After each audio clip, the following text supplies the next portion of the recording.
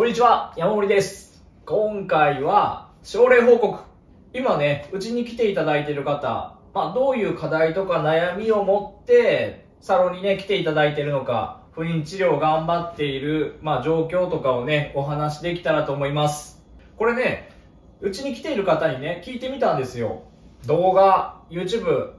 何見たいですか？どんなことをね、載せてほしいですか？って聞いたときに、私以外の方、どういう状況なのか、まあなんか、もしかしたら私と同じような状況の方いらっしゃるのかなとか、一人で私だけみたいな感じってちょっと辛いじゃないですか。あ私と同じような方がたくさんいて、そういう方たちも頑張っていて、妊娠してるんだなっていうところが、まあちょっと知りたいですっていうようなね、声をいただいたので、今回このような動画を撮ることにしました。で、まあ、最近ね、まあ、初心で来ていただいた方のカルテをね、今いくつか持ってきたんですけど、えー、っと、例えば、この方はね、29歳の方で PCOS の方ね、体外受精されている方、この方も PCOS の方で30歳の方で、うんとね、この方はまだ体外受精はされてない、人工受精をされている方。人工受精をされ、一度してですね、一度して、今、うちに来ていただいて、この方はね、タイミング取られてる方ですね。34歳の方で、うん、まだタイミング取ってるよっていう方。この方は、44歳の方、体外受精、いつまで体外受精頑張ったらいいのかなって、うん、初心の時にお話しされてました。そういう方もいらっしゃるし、この方も体外受精も移植周期に入ってっていう感じで。来ていただいた、移植前にね、できることをしたいってお越しいただいた方、この方も、うん、移植がもうすぐ、次の周期、次生理が来たら、移植周期にっていう方で何かできることがないかっていうので、そう、この人はね、この方は内膜がなかなか熱くならなくてっていうタイプの方。どれにしましょうかね？どの方のお話ししようかな。まあ、一番最初に出てきたのでね、一番最初にあった PCOS の方のね、お話をそしたらしていこうと思います。この方ね、29歳の方で、29歳。お方で、うんと、まあ、サービス業されているようなね、接客接客業されているような職業の方で、まあ、お悩みとしては PCOS、PCOS でお悩みの方、体外受精も、えー、っとね、体外受精、あ、そうそう、この方ね、体外受精に、っていうところまでね、ステップアップされてるんですけど、まだね、実際移植がね、移植一度もできてなくてっていうところでね、えっ、と、サロンにお越しいただいて、っていうのが、卵がね、受精卵が、凍結卵とかができなくて、体外受精に向けて、えー卵の準備ができなくて、っていうところで、うん、うちにお越しいただいた方です。採卵自体はね、採卵は今までに3度されていて、この間ね、8月、8月の初旬に、あ、嘘。1月、1月末、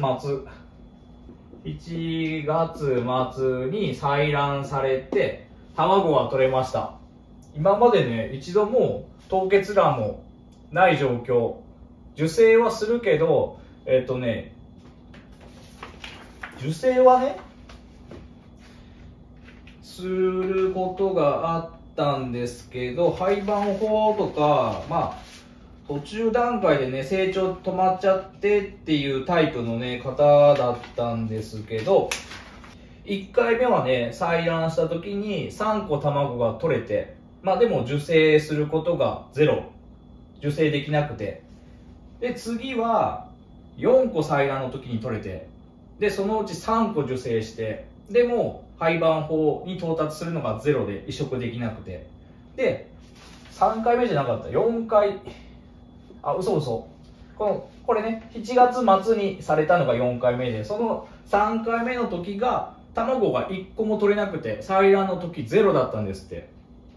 で年齢的なこととか、まあ、PCOS っていう状況で、まあ、病院には行かれてたんですけど、まあ、年齢とか状態見ながらだと思うんですけどドクター的にはまあまあ卵取れると思いますよっていうふうにお話を受けてたらしいんですよ。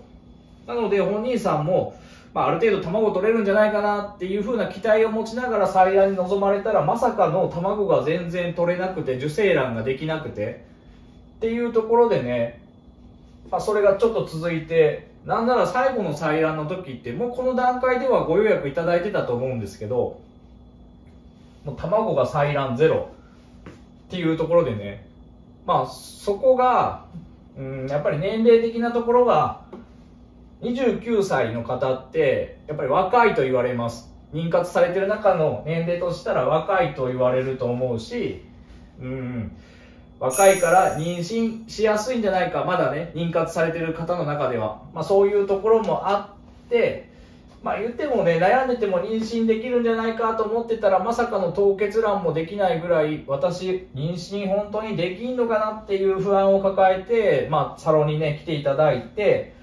でまだね施術としたら2ヶ月ぐらいなんですけどこの間廃盤法が3つ3つ取れました。で凍結できてっていうところで次生理が来たらね、まあ、今週期お休み8月お休みして次の周期に移植しようかなっていうお話をねされているんですけど PCOS の方うちのねサロンに来てる方の割合の中では PCOS でお悩みの方って結構多いです。まあ大体3割から4割ぐらいですかね。PCOS 気味みたいなうん。月経周期がちょっと安定しない。どっちかというと排卵まで手こずるよっていうタイプの方。タイミング法の方からまあ体外受精の方いろいろいらっしゃいますが、まあ、割と多い症状になってきます。PCOS で悩んでいる方妊活を頑張っている方の課題としてはやっぱり一つはねタイミングとか取られてる方とかだとこれです。排卵。排卵に手こずる。なかなかね排卵日っていうのも予想しにくいし PCOS の方って正直自分たちだけでは妊娠っていうのはちょっと手こずるタイプなので病院とかでの治療っていうのが私はやっぱりうん早く子供授かりたいなと思ってる方だと早めに病院行かれて治療をするっていうところも合わせてもちろん体質改善っていうのもするの前提ですけどね。ここ大事かなとは思うんですがやっぱりまずはこれ排卵ですよね。卵がうまく育たない未成熟未成熟なやつが多い。排卵できないってやつがまあ気になるとこだと思います。タイミング合わせて人工授精して、まあ、なかなかできないっていう方たち排卵日だけじゃねないんですけどね。うん。やっぱりね卵巣の中に古い卵が古い卵が溜まってる状態っていうのをねちょっと変えてあげたいですね。病院とかで誘発剤クロミットとかねセキソビットとか使って、まあ、注射とかもしながら排卵させることはできたりとかするんですけど、まあ、やっぱりそれでもなかなかっていうパターンって多くて、まあ、それでステップアップされて PCOS の方体外受精すると多いパターンっていうのがうーん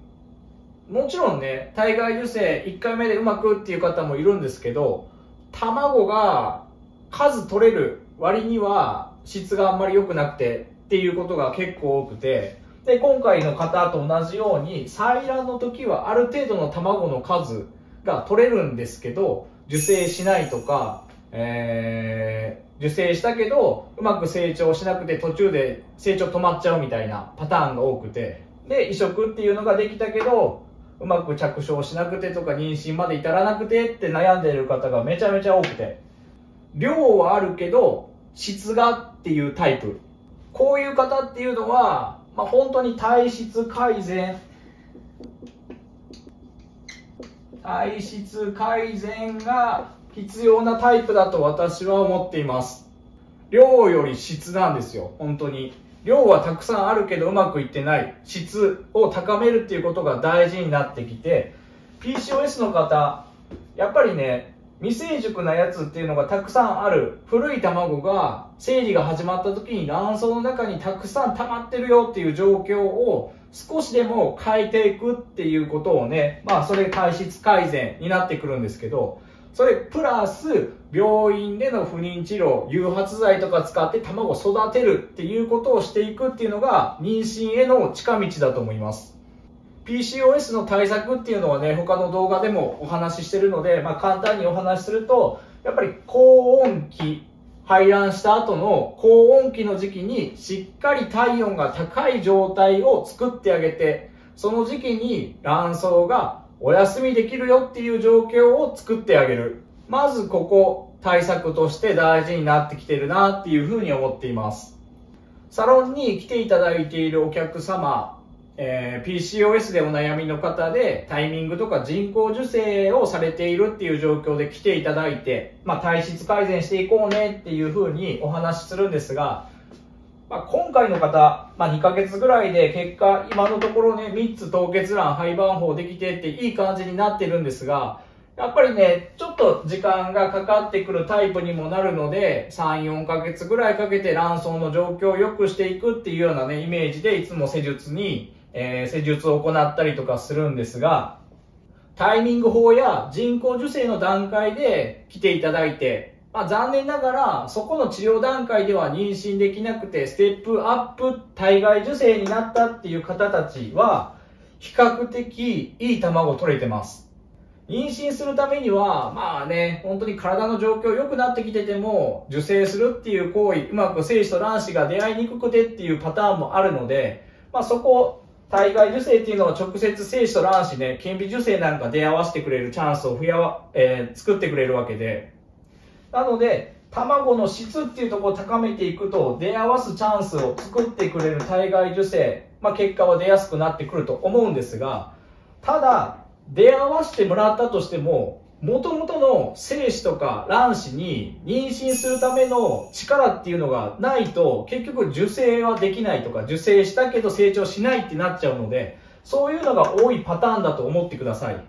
だから PCOS の方で翌月が、えー、採卵周期なんですもう今周期採卵周期始まってるんですっていう方たちの卵っていうのはどうなのかっていうとやっぱりまあ、いい卵がまだなかなか取れないなっていう状況。それを、えー、タイミング法ぐらいの時から来ていただいている方っていうのは定期的に体のケアを行っているので、まあ、妊娠っていうところ、人工授精とかタイミング法の段階ではできなかったけど、やっぱり体外受精でいい結果が出やすいかな。早めの対策が必要だと思います。PCOS の方ってね、まあ、年齢的には20代の方とか30代でも年齢がまだ、え、お若い方とかが多くはなってくるんですが、タイミング法人工授精で妊娠できるのが一番です。そこを望んでっていう方、もちろんそれで妊娠できることを望むべき。で、ただ、将来的に体外受精っていうのも考えてるかなっていう方は、そこも視野に入れて、体外受精をするときに、今から何かっていうよりは、体外受精に向けて体づくりしっかりしていこう。何かあった時のために準備していこう。でもその段階、途中段階で妊娠できたら一番いいよねっていうような動き方をする。これだと本当に思ってます。PCOS でね、悩まれている方って本当にお話したみたいに多いです。まあでも本当にちょっとだけ体のね、状態を変えてあげるっていうような体質改善っていうのが割と合ってるタイプ、不妊治療の中では効果が出てきやすいタイプだと思いますので、まあ、お悩みの方はね、ぜひご連絡いただいたら一緒に体づくりもね、していきたいなと思っています。今回は、うちのサロンにね、来ていただいている方のお話をしていきました。同じような感じでね、まあ、いろんな方がやっぱりいらっしゃいます。年齢もバラバラやし、うーん、ね、いろんなお悩み、課題を持って、不妊治療されている方たくさんいらっしゃいますので、あ、私と一緒の人がいるなとか、なんか一人でってやっぱりきついですよね。一人でやっていくのきついし、他にもこういう方がいるんだな。まあそういう方が取ってる対策っていうのがもしかしたら自分にも合ってるかもしれないし、まあそういう意味でもね、こういう感じの、えっ、ー、と、症例報告みたいなね、お話をこれからもしていこうかなと思いますので、ぜひね、これからも動画ご覧いただけたらと思います。